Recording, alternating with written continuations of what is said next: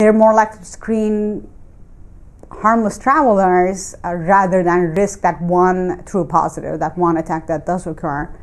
And that gives you an understanding as to why. Because terrorism is such a rare event, yet a rare event with um, immense consequences, negative consequences, this gives you an understanding as to why um, states, governments need to be overshooting with policy.